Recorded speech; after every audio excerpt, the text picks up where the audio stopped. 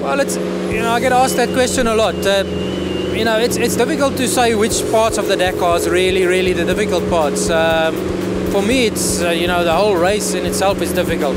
Uh, you know, probably if you get to really really difficult dune stages, which is really soft, you know, it takes a lot of concentration and uh, you know focus to get through there without getting stuck. So. Um, that would probably be the difficult ones. But I mean, then again, you can get twisty mountain stages, which can be just as difficult. You know, where you got to keep focus. There's big drops, and uh, you got to make sure you stay on the road.